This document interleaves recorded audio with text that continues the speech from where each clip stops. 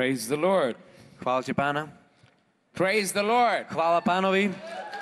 Hallelujah. Aleluja. Hallelujah. Aleluja.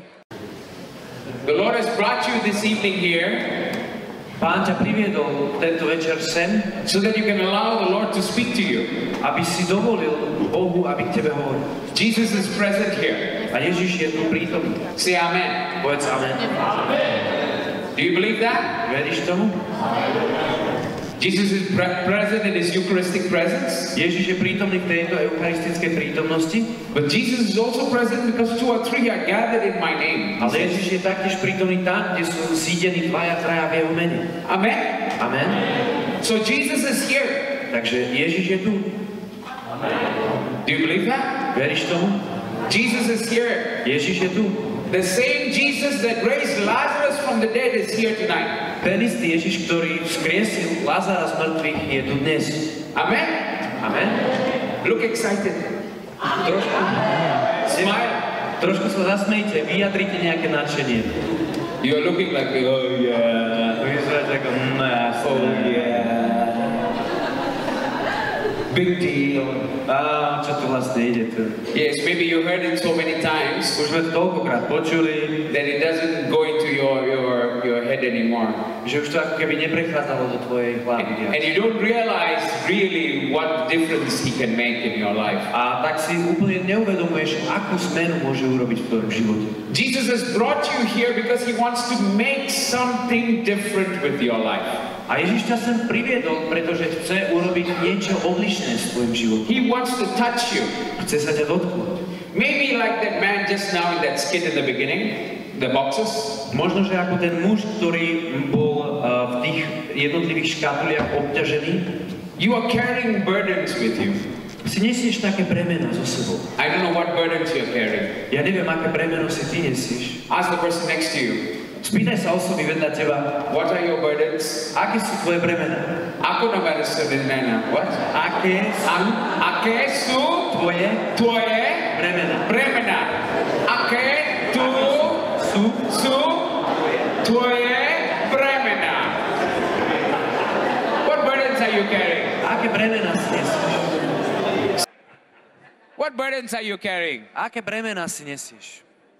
Some people carry burdens, very heavy burdens. Niektorí ľudia si nesú veľmi ťažké bremena. And these burdens are pulling them down. A tieto bremena ich tak ťahajú dolu.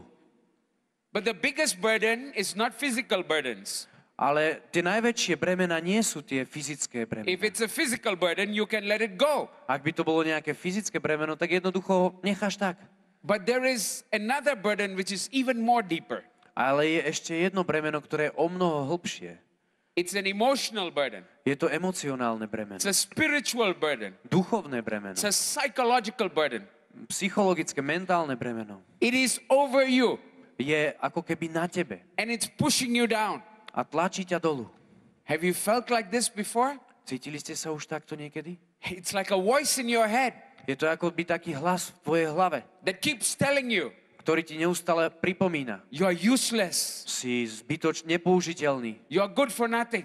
si dobrý k ničomu, You will never do anything good. nikdy nič dobre neurobiš. And it keeps on drumming it into your head. A neustále ti to pripomína a vchádza ti to do hlavy. And you get tired from fighting it. A už si unavený z toho, že musíš s tým bojovať. Maybe you're struggling with this in your head. Možno, že zápasíš práve s týmto vo svojej hlave. I want to read from the gospel, Chcel by som vám prečítať eh, z Evanielia. the gospel of uh, John chapter 8, verse 1 to 11. Je to Evanielium podľa Jana 8. kapitola, verše 1 až 11. You know this story very well, but listen to it again. Poznáme tento príbeh veľmi dobre, ale skúsme si ho vypočuť znovu. It says that Jesus went to the Mount of Olives. Hovorí sa, že Ježiš vyšiel na Olivovú horu. Gospel of John chapter 8, verse 1.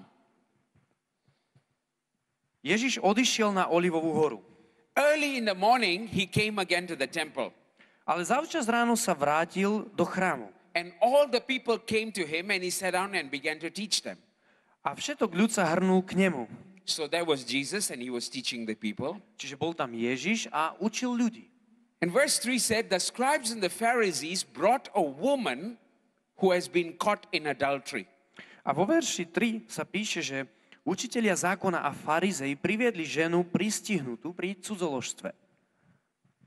This woman is caught in adultery. A táto žena bola pristihnutá ako cudzoloží. And they brought this woman. A priniesli ju. Jesus is teaching the people. Ježiš vyučuje ľudí. So imagine a crowd here, Predstavte si ten zástup and Jesus is teaching them. a Ježiš ich vyučuje. And all of a sudden, A the, zrazu the, the, the scribes and the Pharisees, they brought a woman caught in adultery. zákonníci a farizei prinesú ženu, ktorú prichytili pri cudzoložstve. The Bible says something very interesting. A Biblia hovorí niečo veľmi zaujímavé. Making her stand before them all. Že ju postavili pred... Does it say, say read that? Does it Okay. say that? A píše sa tam, postavili ju do prostriedku.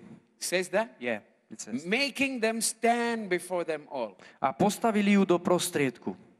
That means these, these people, they made the woman with adultery stand before everybody else in public. Čiže títo ľudia ju priviedli a nechali ju, umož- urobili to, aby sa postavila pred všetkých týchto, ktorých tam boli v tom zástupe. Have you ever felt like this before? Cítili ste sa už niekedy f- takto? Do you understand what this woman went through? Viete si predstaviť, cez čo tá žena prechádzala? She felt judged, O, cítila sa odsudená, she felt condemned, cítila sa zavrhnutá, she felt dirty, cítila sa špinavá, she felt useless. cítila sa nepoužiteľná, She was made to stand before all of them.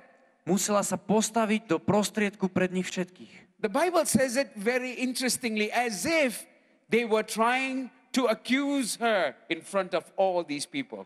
A písmo hovorí, že snažili sa ju obviniť pred očami týchto všetkých. They were saying, This woman is caught in adultery. A hovorili, túto ženu sme pristihli pri cudzoložstve. What are you going to do? Čo urobíš? What are you going to do, Jesus? Čo urobíš, Ježiš? So they said in verse 4 Teacher, this woman was caught in the very act of committing adultery. A vo verši 4 sa hovorí, učiteľ túto ženu pristihli priamo pri cudzoložstve. Now, in the law of Moses, commanded us to stone such a woman. A Mojžiš nám v zákone naradil takéto ženy ukamenova- ukameňovať. What do you say? Čo povieš ty? What do you say? Čo povieš ty? Shall we stone her? Máme ju ukameňovať? Big stone? Veľké kamene? Small stone? Malé kamene? Anybody want to bring a stone? Alebo nejaký iný kameň? Anybody want to volunteer? Niekto, kto by sa chcel stať takým uh, dobrovoľníkom? Let's stone this woman. Tak poďme, ukameňujme túto ženu. Let's kill her Zabíme ju, because she committed a sin. pretože ona spáchala hriech. Can you imagine the woman? Viete si predstaviť tú ženu? What must be going through her mind? Čo muselo jej sa víriť v mysli? And it's very interesting because it doesn't say anything about the man she was committing adultery with. A nič sa nehovorí, je to veľmi zaujímavé, nič sa hovorí o mužovi, ktorý s ňou spáchal to cudzoložstvo. The man escaped. A ten muž utiekol. they didn't catch the man. Nechytili toho muža. They just brought the woman. Ale oni priniesli len tú ženu. She cannot commit adultery all by herself. Ona samozrejme nemohla spáchať cudzoložstvo sama o sebe. What happened to the man? Tak čo sa stalo s mužom? Where is the man? Kde je ten muž? The man ran away. Muž utiekol. But they brought the woman Ale oni doniesli ženu and they were accusing her, a obvinili ju. accusing her. Obviňovali ju. She is sinful. Ona je hriešna, She hriešnica. deserves to be stoned to death. Zasluhuje si byť ukamenovaná na smrť. The law of Moses tells us to stone such a woman. Zákon Mojžišov nám hovorí, aby sme kameňovali takéto ženy. What do you say? Čo povieš ty? They said this, verse 6 says, they said this to test him so that they might have some charge against him. A vo verši 6 sa hovorí, že ale hovorili to, aby ho pokúšali a mohli ho obžalovať. But the Bible says something very interesting. A písmo hovorí niečo veľmi zaujímavé. It says Jesus bent down. Jesus didn't reply them. He bent down. A písmo hovorí, že Ježiš urobil niečo veľmi zaujímavé. Neodpovedal im, len sa zohol dolu. He was writing on the ground. A písal po zemi. He was writing on the ground. Písal niečo po zemi. It doesn't say what he was writing on the ground, Nehovorí sa, že čo presne písal, but he was writing on the ground. ale niečo si písal po zemi. But they were shouting, A oni na ňo kričali. What shall we do? čo urobíme? Master, tell us. Učiteľ, povedz nám. Shall we stone this woman? Máme ukameňovať túto ženu? She is a sinner. Ona je hriešnica. You don't need any more proof. Nepotrebujeme žiaden dôkaz. She already caught in the act of Ona bola adultery. presne prichytená pri tomto cudzoložstve. They kept on, verse 7 says, they kept on questioning him. A vo verši 7 sa píše, že neustále sa ho pýtali a dorážali na ňu. And the Bible says, A písmo hovorí, he straightened up že sa vzpriamil and said to them, a povedal im, Let the one among you who is without sin throw the first stone. kto z vás je bez hriechu, nech prvý hodí do nej kameň. Let the one among you who has no sin Ten, kto je z vás bez hriechu, throw the first stone. nech prvý hodí kameň. There is only one person amongst them who had no sin. Bola iba jedna osoba medzi nimi, ktorá nemala hriech. That was Jesus A himself. to bol sám Ježiš. And if at all anybody was had the right to throw the stone at this woman, A ak by mal ktokoľvek právo vôbec hodiť nejaký kameň do tej ženy, he's the only one without sin. bol by to on, lebo on jediný bol bez hriechu. And he had the right to stone her. A on jediný mohol mať právo hodiť do nej kameň. Let the one who is without sin Nech ten, kto je bez hriechu, throw the first stone. Prvý hodí do nej kameň. Then he continued to write on the A ground. potom pokračoval a písal ďalej po zemi. He ignored all of them. A všetkých ich odignoroval. He pretended as if they were not there. A predstieral, ako by tam ani neboli. And the Bible says in verse 9, A vo verši 9 písmo hovorí, when they heard it, keď to počuli, they went away. Jednoducho sa vytratili, jeden za druhým sa vytratili. They went away one by one. Odišli jeden po druhom. Beginning with the elders, it says. Počnú s staršími. You know why beginning with the elders? Viete, prečo počnúť staršími? Because the elders were the ones with the most amount of sin. Pretože tí starší boli s tým najväčším množstvom hriechov. So they felt very ashamed Preto sa cítili veľmi zahambení and they went away. a preto odišli. And Jesus was left alone, A Ježiš tam zostal sám. left alone with the woman standing there. Zostal sám len s tou ženou, ktorá tam stála. The Bible says it again the woman was standing before him, A písmo hovorí znovu, tá žena stála pred ním. still standing by herself. Stála tam sama pred ním. But this time, nobody accusing her anymore. Ale v tomto čase už ju nikto neobviňoval. Verse 10 says, Jesus straightened up and said to the woman, Vo verši 10 sa píše, Ježiš sa vzpriamil a opýtal sa jej, Woman, where are they? žena, kde sú? Woman, where are they? Žena, kde sú? Has no one condemned you? Nikto ťa neodsúdil? Has no one condemned you? Nikto ťa nezavrhol? And for the first time, we hear the voice of the woman. A až tu po prvýkrát počujeme hlas tej ženy. She said, No one, sir. A ona odpovedala, nie, pane, No one. nikto, No one. nikto. Jesus said something amazing. A Ježiš povedal niečo úžasné. Neither do I condemn you. Ani ja ťa neodsudzujem. Neither do I condemn you. Ani ja ťa neodsudzujem. Hallelujah. Halleluja.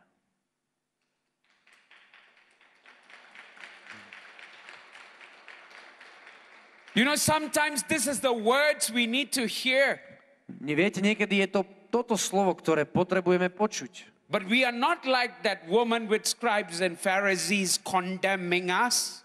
Ale nie sme ako tá žena, ktorá bola so zákonníkmi a s farizejmi, ktorí ju zavrhovali. Our scribes and Pharisees are in our own head. Ale tí farizeji a zákonníci sú akoby v našej vlastnej hlave. You don't need people outside to tell you. Nepotrebuješ ľudí zvonku, aby ti povedali, Do you have people outside telling you? máte ľudí okolo vás, ktorí vám hovoria, Oh, Michael, you are terrible. O, Michal, ty si hrozný, You are useless, si Michael. nepoužiteľný, You are Michal. good for nothing. Si dobrý akurát k ničomu. You are a useless husband. Si nepoužiteľný You are, manžel, you are useless father. si nepoužiteľný zbytočný You are a otec, useless man. si nepoužiteľný muž. No, nobody's saying that to you. Ale nikto vám toto nehovorí. Probably not. Pravdepodobne nie. Probably nobody has even the guts to say that to you.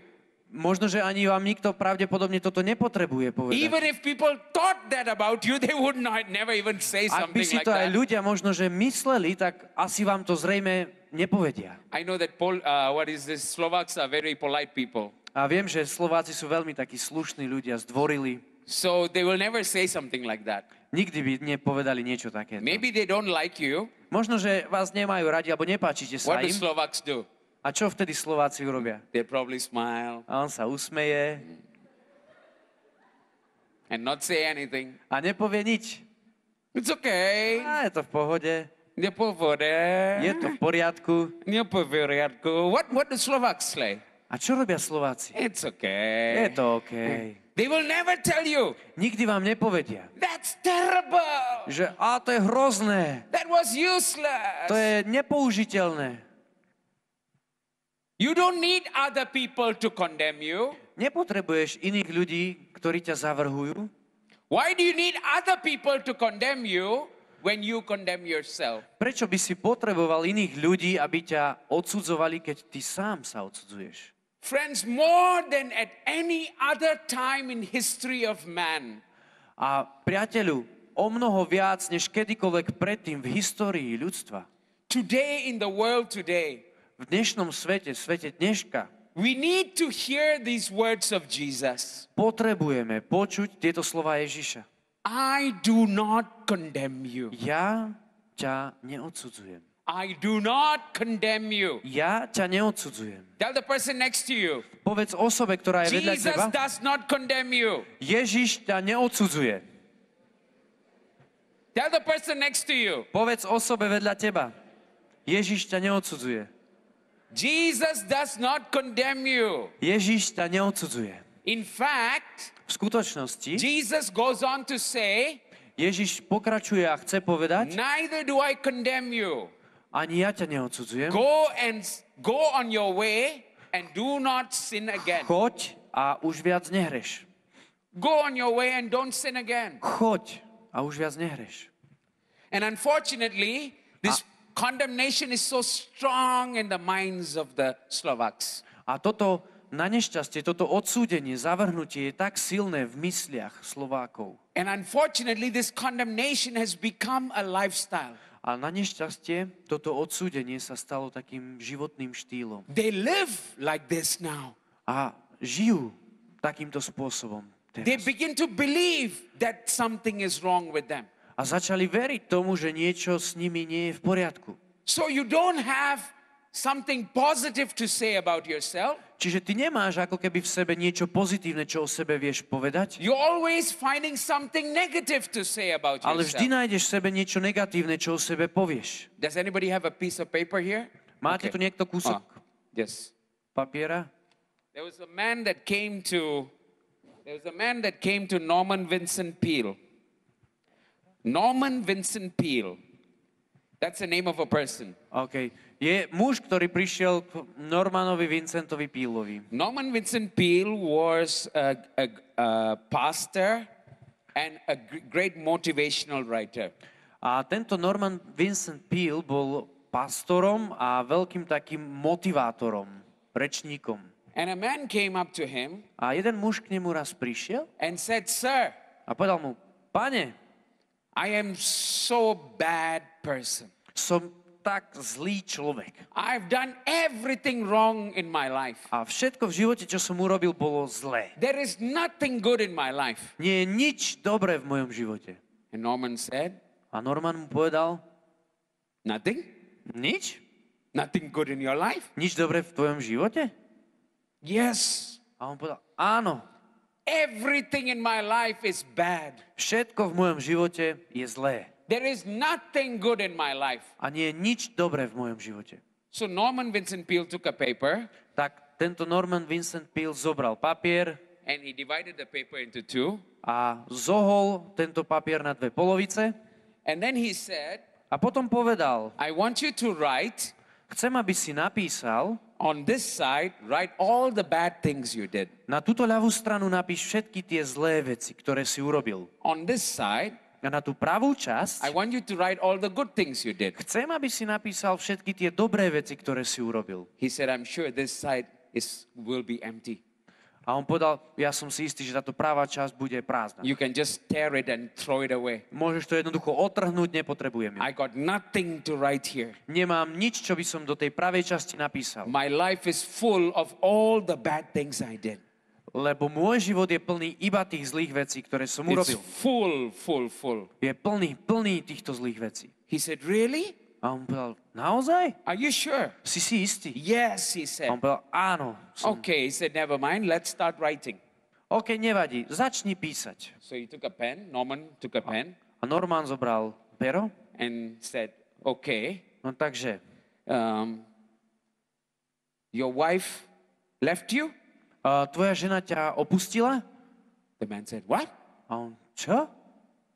Your wife left you? Že či ťa, ťa opustila tvoja žena? No, no, no, my wife never left me. No, nie, nie, nie, moja žena je stále so mnou, neopustila ma No, my nikdy. wife is here. Nie, moja žena je tu, Yeah, she still loves me. stále ma miluje She's still here. a je stále tu. Okay, that's good. A to je dobré. So that's positive then. Takže to je, potom, potom to je pozitívne. You have a wife. Mám, máš ženu. Your wife loves you. Tvoja žena ťa miluje. Your wife is still with you. Tvoja žena je stále s tebou. There are three things already. A už máme tri veci. Okay, very good. Dobre, veľmi dobre. Okay. Your children, Máš deti? they have left you already? A tie deti už od teba utiekli? No, no, no. Nie, nie. My children never left me. Nikdy deti odo mňa neutiekli. My children are with me. Tie deti sú stále so mnou. They're here, are my children. No oni sú dokonca tu. My children love me. A tie deti ma milujú tiež. Oh, okay. OK. That's good. Dobre, tak to napíšeme. You have beautiful children. Máš nádherné deti. Your children are with you. Tvoje deti sú stále s tebou. Your children love you. Tvoje deti ťa milujú. So now we got six already. No a teraz už máme šesť vecí. And Norman Vincent Peale went by one area by one area in his life. A išiel takto tento Norman Vincent Peale oblasť za oblasťou v jeho živote. And pretty soon the man's face started to change. A veľmi skoro, veľmi rýchlo sa začala tá tvár toho muža meniť. Because he realized that the list was actually very long. Pretože si všimol, že práve tá práva časť bola veľmi dlhá a popísaná. The problem is this A problémom je toto. We have forgotten the good things that have happened in our life. Zabudli sme na tie dobré veci, ktoré sa stali v našich životoch. And we have focused on all the bad thing that has happened in our life. A zameriavame sa len na tie zlé veci, ktoré sa stali a dejú v našich životoch. And the bad things are so strong A tie zlé veci sú tak silné, that it affects our mind. že ovplyvňujú a zasahujú do nášho myslenia. and it continues to bring doubt and fear inside of us. A neustále pokračujú v tom, že prinášajú pochybnosť do And we nášho begin to myslenia. believe A my začíname veriť potom, I'm bad, že som zlý, I'm not good. že nie som dobrý. It continues to drown out all the positive in our life.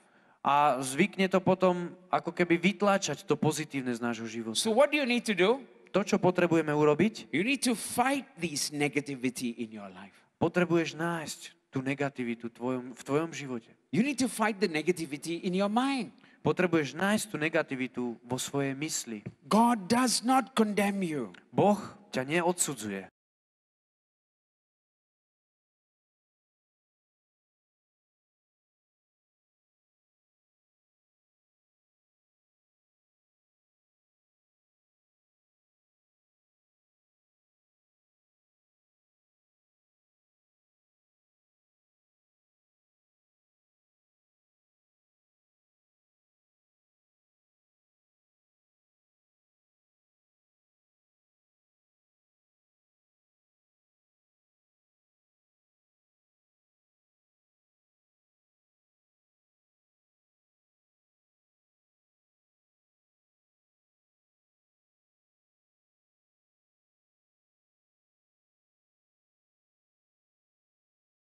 And often we keep that in our head. A často si to tak držíme v našej mysli. We think that Jesus is condemning us. A my si myslíme, že Ježiš nás zavrhuje. Actually, Jesus is not condemning us. A v skutočnosti Ježiš nás nezavrhuje. Romans chapter 8, verse 1 to 2. Rímanom 8, 1 až 2 The Bible says, Therefore, now in Christ Jesus, there is no condemnation.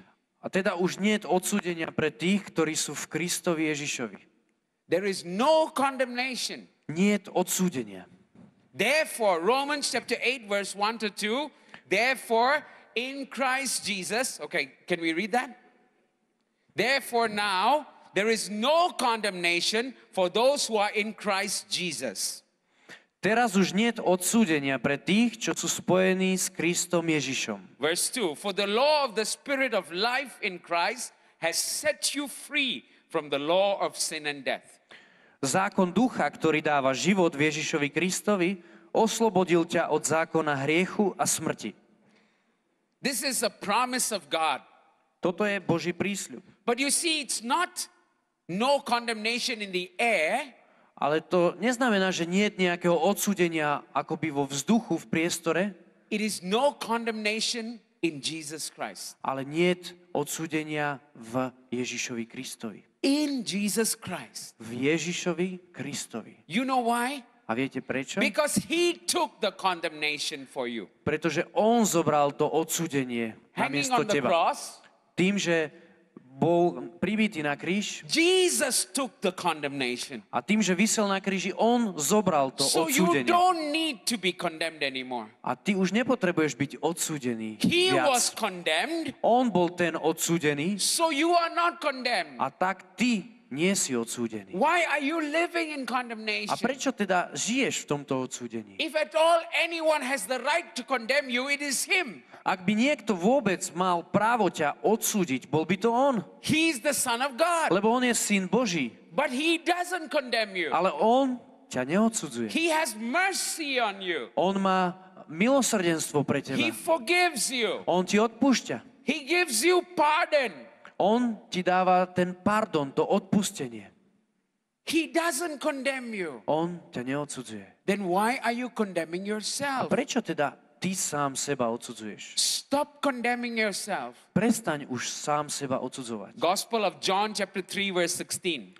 Ján, Evangelium Jána 3, 16. Everybody knows this. Každý to poznáme. For God so loved the world that God gave us his only Son, Boh tak miloval svet, že poslal svojho jednorodeného syna.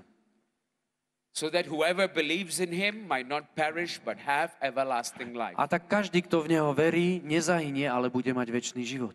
But people forget the most important thing is after that in verse 17. Ale ľudia zabúdajú na veľmi dôležitú vec, ktorá je potom vo verši 17. The 17 says, Verš 17 "For hovorí, God did not send the Son into the world to condemn the world, pretože Boh neposlal svojho syna na svet, aby zavrhol svet, But- odsúdil svet, in order that the world might be saved through him. ale aby svet spasil, aby svet mohol byť spasený cez neho. You see, Jesus didn't come to condemn us. A vidíme, že Ježiš neprišiel, aby nás odsúdil. The problem is not Jesus condemning us, Problémom nie je Ježiš, ktorý nás odsudzuje, we are condemning ourselves. ale my sami seba odsudzujeme. What is the area in your life you are experiencing A condemnation? čo je tou oblasťou v tvojom živote, v ktorej zakusuješ to odsúdenie? You know the story of Adam and Eve? Poznáme príbeh Adama a Evy. After Adam and Eve ate the fruit of the garden, Potom, ako uh, okúsili ovocie záhrady Adama a Eva, the Bible says that their eyes were open. Že potom písmo hovorí, že ich oči sa otvorili. And then they realized that they were naked A potom si uvedomili, že sú nahy. and they sew fig cloths to cover them, their body. A potom oni si odtrhli tie figové listy, aby si prikryli telo. And the Bible has this amazing line in Genesis chapter 3. A Biblia má úžasnú líniu, ktorej pokračuje v Genesis 3. kapitole. Genesis chapter 3, verse 7 to 11. It says, The eyes of both of them, Genesis chapter 3, verse 7. It says, The eyes of both of them were open, and they knew they were naked, and they sewed fig leaves and made loincloths for themselves. Písmo hovorí, vtedy sa obidvom otvorili oči a poznali, že sú nahí. Zošili si figové listy a urobili si z nich zástierky. Verse 8 has something very amazing. It says, They heard the sound of the Lord walking in the garden in the time of the evening, the cool of the evening. A potom písmo hovorí, počuli krok Jahveho Boha, ktorý sa prechádzal po záhrade za denného vánku. God was walking in the garden, Boh sa prechádzal po záhrade and the Bible says the man and his wife hid themselves from the Lord. a písmo hovorí, že Adam a Eva, tento muž a žena sa skryli pred Bohom. They hid. Oni sa skryli. Why did they hide? Prečo sa skrývali? Because there was a condemnation. Pretože boli odsudení, mali v sebe odsudenie. They were afraid. Báli sa. You see, condemnation comes from the sense that you're going to get punished. A vidíme, že odsúdenie prichádza z toho takého chápania, že budeme potrestaní. So, condemnation comes from fear. Čiže samotné odsúdenie pochádza zo strachu. Fear is the operating system for condemnation. A strach ako keby bol takým operačným systémom odsúdenia. So, condemnation is the state of mind, Čiže odsúdenie je takým stavom mysle, but it is pushed by fear. ale ono je tlačené strachom. And the fear is because of punishment. A ten strach pochádza z toho, že budeme potrestaní. You, so, you do something wrong, Vidíme, že urobíš niečo zlé, you're scared you're going to get punished, vystrašíš sa, že budeš potrestaný and then you hide. a potom sa skryješ. Because there's a voice inside your head Pretože je taký hlas vo vnútri, v tvojej hlave, to you, ktorý ti hovorí. Aha, Aha, aha, aha. I know what you did. A vidím, viem, čo si urobil. I know what you did. Viem, čo si urobil. I saw what you did. A ja som videl, čo si urobil. And it's playing in your head. A obvinuje to a tak sa to víri v tvojej hlave. And you're afraid. A tak sa bojíš. You're afraid that there's going to be a punishment. Bojíš sa toho, že príde trest. And Adam and Eve thought they can hide. A Adam a Eva si mysleli, že sa môžu nejako skryť. So if they hide, they, they, won't, they won't be found out. A že keď sa skryjú, tak teda nebudú, tí, nebudú nájdení. You know the good thing with God? Viete, tá dobrá vec s Bohom je, He knows everything you did. Že On vie všetko, čo spravíš. You cannot hide from God. Že sa nemôžeš pred Bohom nejako skryť. You don't need to hide from God. A nemusíš sa pred Bohom ani, nepotrebuješ sa He skrývať. loves you as you are. On ťa miluje taký, takého, aký si. Say amen. Amen. You don't need to hide from God. Nepotrebuješ sa skrývať pred Bohom. Tell the person next to you, don't hide from God. Povedz osobe, ktorá je vedľa teba, neskrývaj sa pred Bohom. Nec sprevaj. Neskrývaj sa pred Bohom. S Petrbrohom. Nec sprevaj. Neskrývaj. Neskrývaj. Á. Don't hide. Neskrývaj sa. Don't hide. Neskrývaj sa. Did you read? Did you see the drama just now in front? Videli ste ten, to, uh, tú scénku na začiatku. When the man came and asked him, Where are you going? A keď ten muž prišiel, kde ideš? He started to hide everything. A keď, keď som sa ho spýtal, že čo to má, tak sa začal skrývať. Hide. Skrývanie. You don't have to hide. A ty sa nepotrebuješ skrývať, Hide comes from shame. pretože to skrývanie sa pochádza z hanby. And shame comes from guilt. A hamba pochádza z viny. Guilt has to do with fear and punishment. A vina pochádza zo strachu a z trestu. God is not waiting to punish you. Ale Boh nečaká na to, aby ťa potrestal. Say amen. Povedz amen. He loves you as you are. A on ťa miluje takého, aký si. And it says the man and his wife hid from God. A píše sa, že uh, muž a žena sa skryli pred Bohom. In verse 9, is the most amazing question, the first question in the Bible. A vo verši 9 je veľmi zaujímavá otázka. Je to prvá otázka v Biblii. Where are you? Kde si? Where are you? Kde si? Where are you? Kde si? Adam, where are you? Adam, kde si? John, where are you? Jan, kde si? Yana, where are you? Jana, kde si? Tell the person next to you, where are you? Povedz osobe vedľa teba, kde si? Kde si? Where are you? Kde si? Where are you? Kde si? Tell the person next to you, Povedz osobe vedľa teba, I am hiding. skrývam sa. You think God cannot see you? Myslíš, že Boh ťa nevidí? And then Adam says something very interesting. A potom Adam povie niečo veľmi zaujímavé. I heard the sound of you in the garden. Povie, počul som tvoje kroky v záhrade, I heard ja som počul the sound of you in the garden. tvoje kroky, alebo počul som teba v záhrade, I was afraid. Bál som sa I was afraid. a bál som sa. Fear. Strach. I was afraid. Bál som sa. You see that? Vidíte to? This is where condemnation is coming from. Toto je miesto, z ktorého pochádza odsúdenie. Fear. Strach. I was afraid. Ja som sa bál. Because I was naked, I was afraid. Pretože som bol nahý, tak som sa bál. I did what you said not to do. Ja I, som urobil niečo, čo si mi zakázal robiť. I was afraid. A tak som sa bál. So I hid myself. A tak som sa skryl. You know the good news today, friends? Viete, to, tá dobrá správa pre dnešok. He accepts you as you are. On ťa príjma takého, aký si. Amen. Amen. He doesn't say to you, Nehovorí ti, you are dirty. že si špinavý. Go and change yourself and then come. Choď, zmeň sa a potom prídi.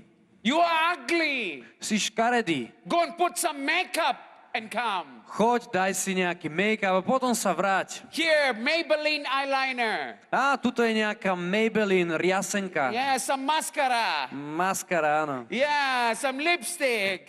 Nejaký rúž na pery. Yeah, put some makeup. Daj si nejaký make-up. Yeah, comb your hair. A uh, uh, urob si vlasy. Then you come. A potom príď, vykulmuj si vlasy. No, Nie. come as you are. Príď taký, aký si. He loves you as you are. Pretože ťa miluje takého, aký si. I have two daughters, you know. Viete, mám dve cery I love my daughters. a milujem svoje cery. And I remember when my eldest girl, I bought for her a laptop, A pamätám si, keď tá staršia z nich, eh, vtedy som jej kúpil notebook and it was in the first year of her university. a bolo to, keď bola prváčkou na univerzite. And she took it to university, A zobrala si ho na univerzitu. And I do not know how it happened, a neviem, ako sa to stalo, but she had connected the laptop to the power supply, a pripojila svoj uh, notebook uh, do zástrčky. And she had ran the wire across the floor, a mala natiahnutý kábel po podlahe and she was sitting on a table a at a distance from the PowerPoint. sedela uh, v nejakej vzdialenosti za stolom od toho, kde bola zástrčka. So another girl was walking by in her college, a nejaká ďalšia mm, diev, dievčina išla okolo. And she tripped over the wire, a ona tak sa ako keby potkla, zachytila o ten kábel. And the laptop went flying in the air. a jej notebook zrazu letel cez vzduch a spadol crashed on the floor. a rozbil sa. Totally screen damaged, everything gone. A monitor bol úplne rozbitý, všetko bolo pokazené. She screamed, Ona vykrikla, the girl screamed, tá, tá dievčina, čo do toho kopla, vykrikla Sh- There was an argument. Mali hádku, That girl called her father. tá dievčina zavolala svojho otca, My daughter called me. Moja dcéra zavolala So, mňa. so the two fathers came for confrontation in the Tak, university. tak dvaja otcovia sa stretli v takej konfrontácii na univerzite And I scolded the man. I said, Your daughter kicked the laptop. You got to pay for the laptop. a ja som povedal tomu mužovi jednoducho, tvoja dcéra zakopla do toho kábla a zničila notebook, tak zaplatíš ho. And the man said, I refuse to pay. A ten muž povedal, ja odmietam za to It's zaplatiť. your daughter's fault Je to chyba tvojej céry, because she sat there with the cable running and my daughter tripped over the cable. pretože ona tam nastavila ten kábel, nemusel tam byť a moja dcéra sa len on potkla. I said, It's not my fault. It's not my daughter's fault. It's your daughter's fault because she's not looking where she's going. A ja som povedal, to nie je chyba moja ani mojej céry, je to chyba tvojej céry, pretože sa mala dívať, kadiaľ ide. Then she said, He said, No, I will refuse to pay. You can take me to court. We will fight it out in court. A môžeš, ja ti odmietam zaplatiť, môžeš ma zobrať aj na súd, dať ma na súd a jednoducho budeme možno sa súdiť. And I didn't know what more to say. A nevedel som už čo viac I povedať. said, God bless you. A tak som povedal, Boh ťa žehnaj. But at the end of the day, I could, he didn't want to pay. Ale nakoniec vlastne on odmietol zaplatiť. And so I was stuck with this. A bol som, mal som to tak v mysli, bol And- som v tom taký neslobodný. And you can imagine the song that my daughter got home when she when she got home, she got a beautiful song from me. A viete si predstaviť, e, akú piesen si asi niesla moja dcéra e, v hlave, keď to videla všetko, keď sme sa vrátili domov po celom incidente. Tá pieseň vyzerala nejak takto.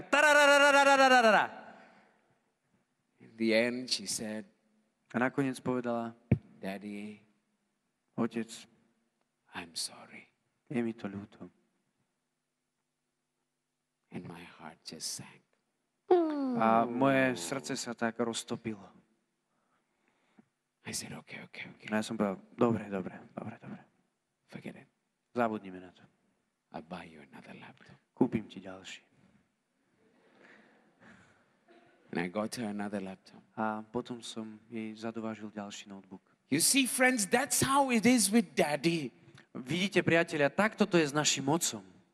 When you say sorry, Keď povieš, že ti je to ľúto, že ľutuješ, it is gone. jednoducho už je to preč. You get a new laptop. Môžeš mať hneď nový notebook. Amen. Amen. Not only a new laptop, Jednoducho máš nový notebook. you get a new life. Máš hneď nový život. The old life is finished. A ten starý život už je It's za tebou. Gone. Jednoducho je preč. When he forgives you, Keď on ti odpustí, it is gone. je to už preč. He doesn't come back and say, uh uh uh. Nepovie, že vráti sa k tomu späť a povie, o, o, You did that, remember? ty si to urobil, pamätáš? He doesn't remind you anymore. Ne, nepripomína ti to už nikdy viac. Who reminds you? Kto ti to pripomína? The devil reminds you. Diabol ti to pripomína. And that is why in verse 11, A po- Genesis chapter 11, chapter 3, verse 11, A potom sa píše v Genesis 3, verši 11.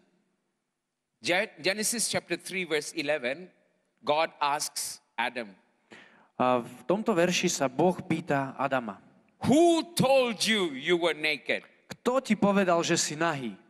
Who told you you were naked? Kto ti povedal, že si nahý? Is it there? Áno, yes, Áno? it is. It's there? Who told you you were naked? Kto ti povedal, že si nahý? You know, if this happened in Catholic University, Viete, keby sa to stalo na katolíckej univerzite, makes sense to ask you a tak by to dávalo zmysel, že sa vás to niekto spýta, because there's so many people there. pretože je tam veľa ľudí a But at the time when this happened in the Bible, ale v časoch, keď sa to stalo, keď, o, ako to opisuje Biblia, think about it. pomyslite si, There was, on- predstavte si to. there was only God, Bol tam len Boh, Adam, Adam Eve, a Eva. and God is asking Adam, A Boh sa pýta Adama, Who told you? kto ti to povedal? God didn't tell Adam. Čiže Boh to nepovedal. Who told you, Adam? Kto ti Adam povedal, Who told you you were naked? že si nahý? Kto ti to povedal? Who told you you were naked? Kto ti povedal, že si nahý? Who told Adam he was naked? Kto povedal Adamovi, že je nahý? Satan. Diabol. There was nobody else. Pretože už tam nikto iný nebol. Nobody else. Nik iný tam nebol. Who told you, Adam? Kto ti povedal Adam? Condemnation. Odsúdenie. The devil is the condemner. Diabol je ten, ktorý odsudzuje. He tells you that you have this problem. On ti pripomína a hovorí, že máš tento problém. Revelations chapter 12, V zjavení kapitole 12 Revelations chapter 12 and verse 10 says that the devil is the accuser of the brethren, accusing the brethren day and night before God. V zjavení 12 sa píše, že diabol je ten, ktorý je žalobcom bratov vodne i v noci.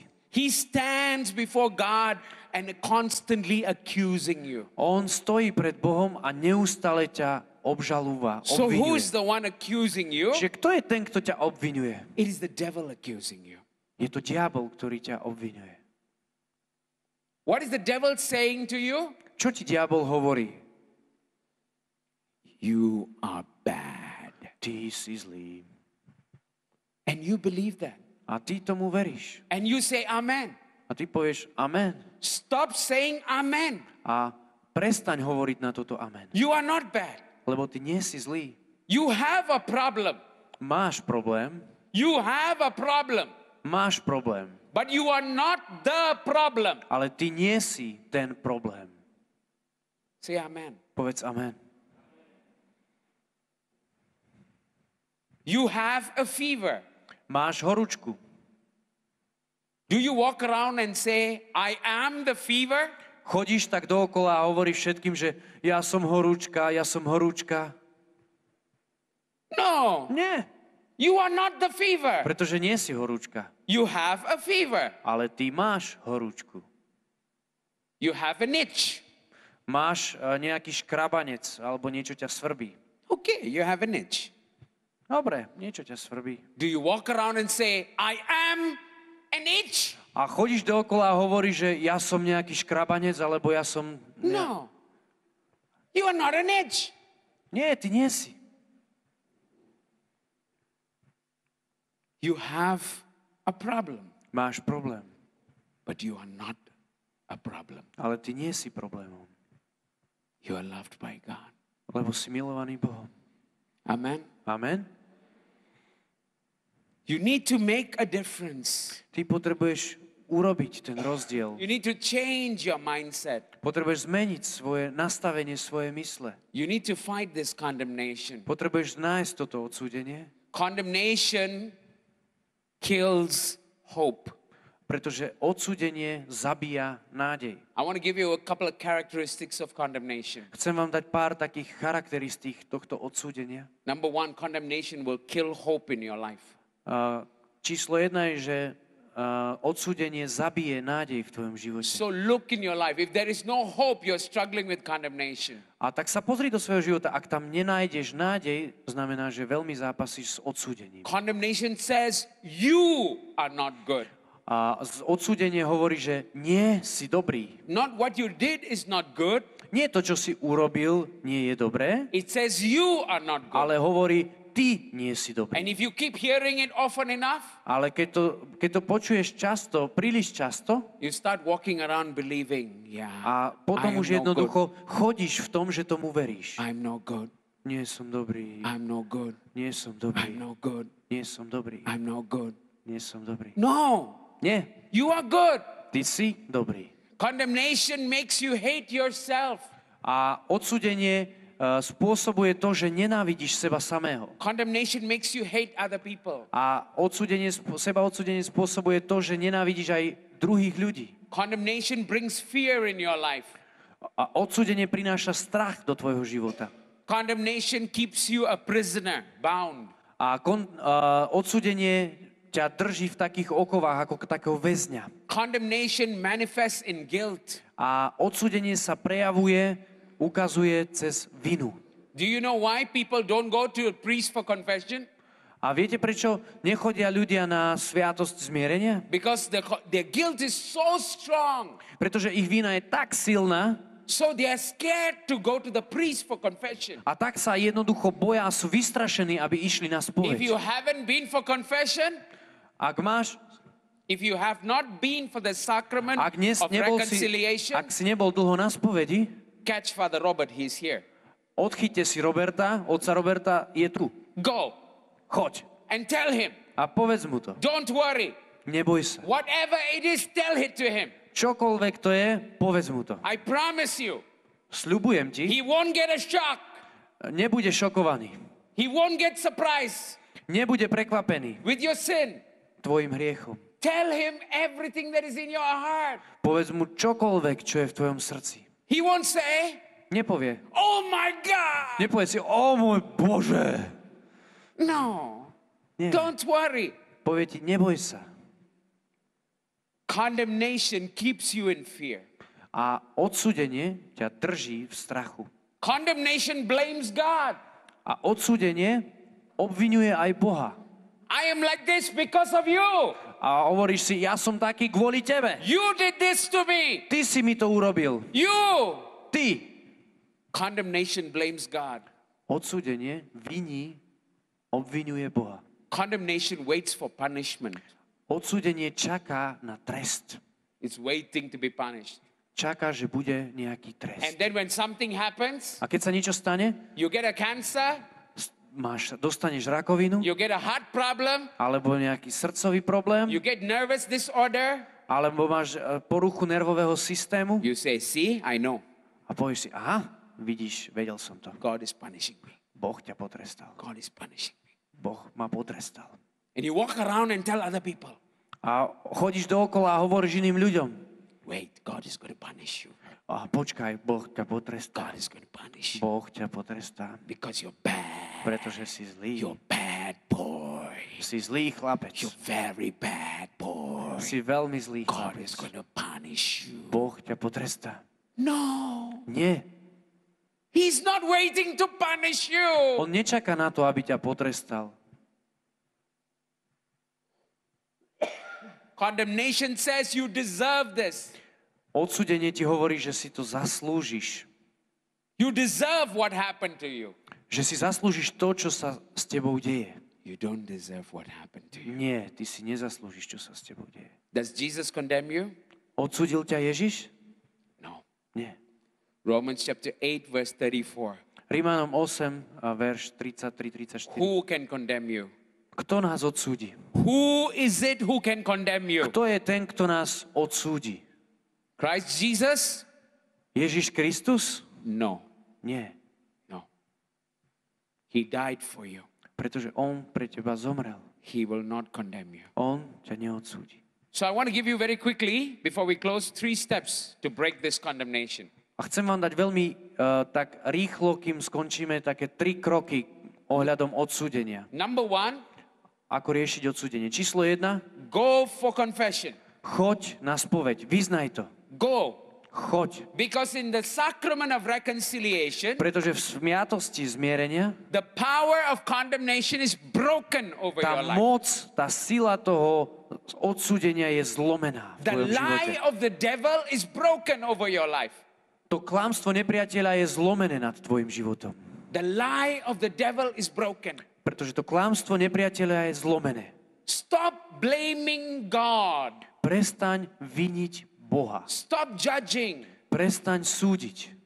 Let God speak his word to you. Nechaj, nech Boh hovorí slovo tebe. Let me let me take an example. Come. Dovolte mi jeden príklad. Poď, Okay, you also come. poď, aj ty poď. This is Dobre Katoliku. To sú dobrí katolíci. This is Dobre Katoliku. Okay? What's your name? Stano. Stallone? Stano. Stano? Sylvester Stallone? No? Stano. Okay, okay, okay. Stano. Okay, Rocky Balboa. Okay, okay, here. Okay, and you are here. A ty si tu, Up. hore. This is the devil. Toto je nepriateľ, diabol. This is devil. Toto je diabol. Yeah, devil with white hair. Diabol s bielými vlasmi. Okay? Devil with white hair.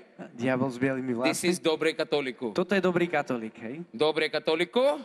This is devil. A toto je diabol.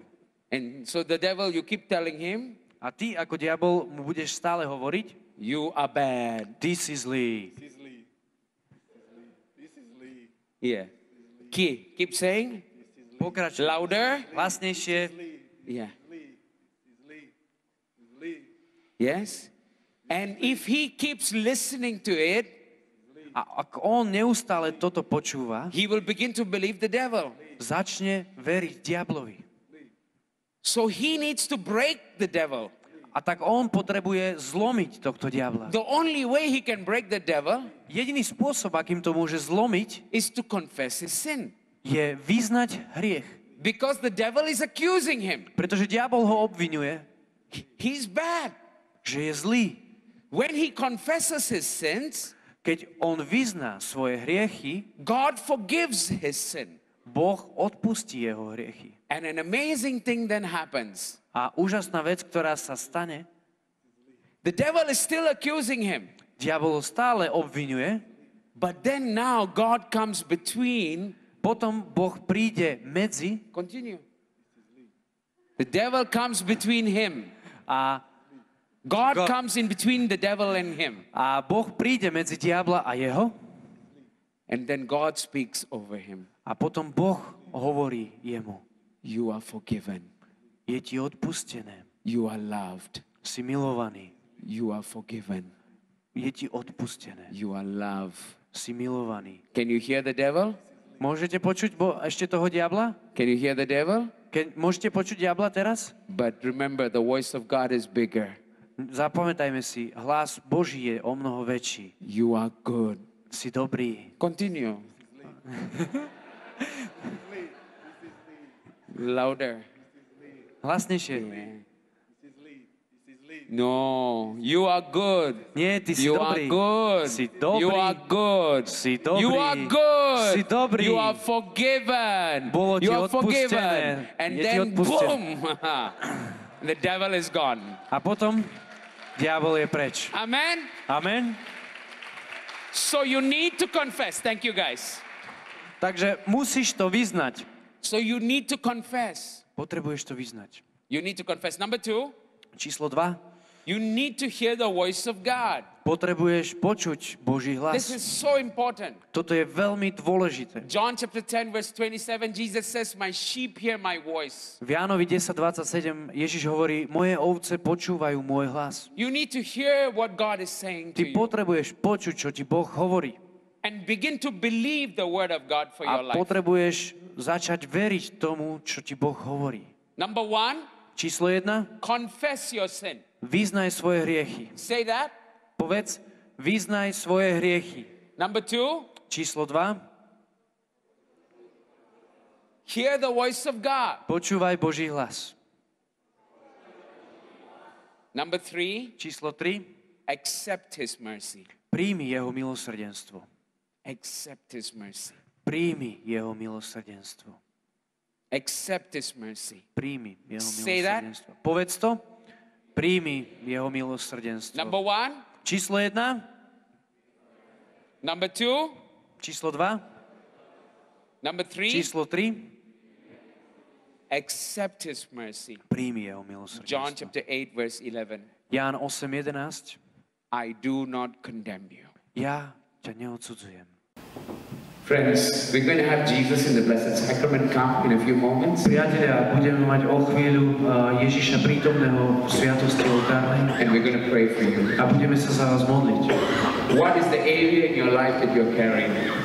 Čo je tá, osob, tá oblasť vo vašom živote, ktor- ktorú si nesiete?